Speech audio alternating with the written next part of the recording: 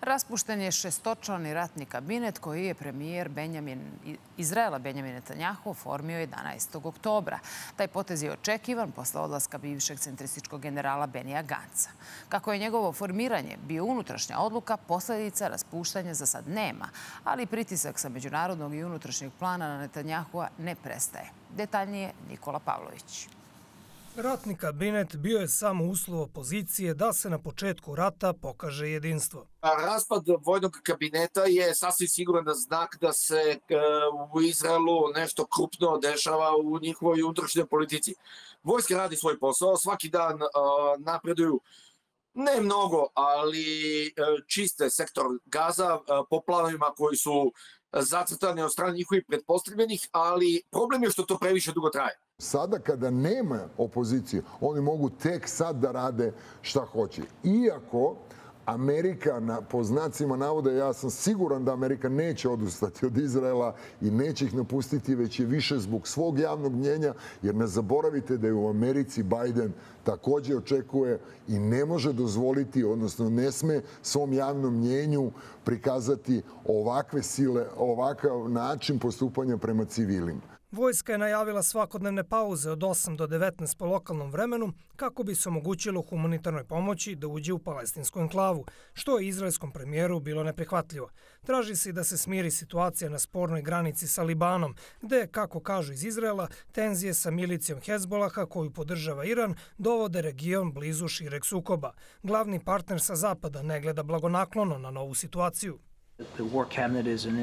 Ratni kabinet je bila interna domaća mera, koju je Netanjahu preduzeo da ga bolje savetuje o ratu. Tada smo rekli i dalje verujemo da je to bio dobar korak, ali sa odlukom Benija Ganca da napusti kabinet, nisam siguran da je premijeru ostavljeno puno drugih izbora. Ne želimo eskalaciju, ne želimo drugi front. Zabrinuti smo zbog ovoga. Zabrinuti su i antivladini demonstranti koji su se okupili u Jerusalimu i pozvali na nove izbore, kao i na sporazum sa Hamasom kojim bi se osiguralo oslobađanje talaca zatočenih u Gazi. Policija se sukobila sa demonstrantima ispred rezidencije premijera Izrela koristeći vodene topove. Troje ljudi je hospitalizovano, a najmanje devetoro uhapšeno. Proces izlečenja Izraela počinje ovde. Nadamo se da će ova vlada uskoro podneti ostavku, jer ako ne podnese ostavku, Izrael neće preživeti. Ovi dani donose malo nade, ali govorim iz iskustva da ova nada može lako da umre bez borbe i protesta. A mi smo tu da kažemo vladi i viknemo da zaključi posao i vrati taoce kući.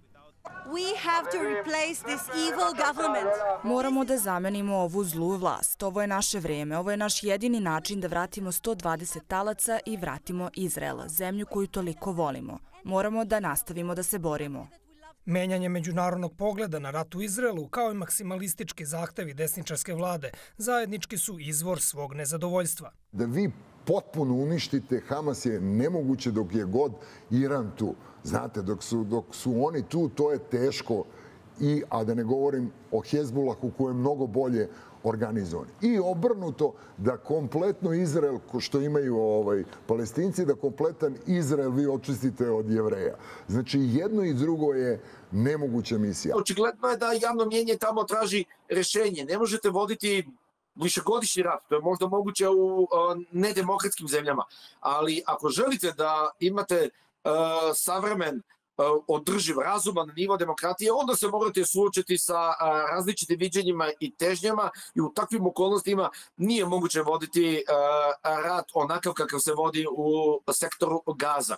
Vizije rešenja nema na vidiku, dok se u samom Izraelu zahuktava uz dodatni spoljni pritisak, jer i najverniji i najuporniji saveznici otvaraju pitanje do kada će rat u Gazi trajati. Za to vreme Ministarstvo odbrane Izraela saopštilo je da ta zemlja u 2023. godini postigla rekord u prodaji odbranbenog oružja. Vrednost prodaje iznosi 13 milijardi dolara. Nakon odluke francuske vlade, sud je zabranio izraelskim izlagačima da učestvuju na redovnom dvogodišnjem sajmu naoružanja jasno je rečeno da je problem uh, sektor gaza i da se ne smatra da u ovom trenutku primjereno da izraelska odbrambena industrija uh, nudi svoje oružje uh, trećim kupcima. Naravno, izraelski biznis će nastaviti dalje po uhodanom planu, oni imaju svoje tržište, imaju prostora, nisu njima Francuzi kupci. Na današnji dan 1996. Benjamin Netanjahu postao je sa 46 godina najmlađi premijer u istoriji Izraela posle izborne pobede desne koalicije. Suočenom sa protivljenjem opozicije po pitanju nastavka daljih dejstava na području Gaze, premijeru Izraela stalo je da se održe na slobodi, s obzirom da pretnje dolaze i od strane tužilaštva. Rat i dalje traje. Nikola Pavlović, Televizija Nova.